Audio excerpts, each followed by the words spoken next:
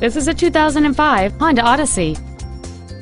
It has a 3.5-liter six-cylinder engine and a five-speed automatic transmission.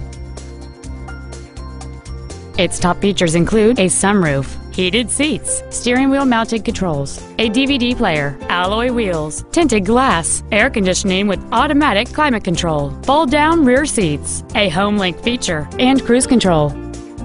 Contact us today to arrange your test drive.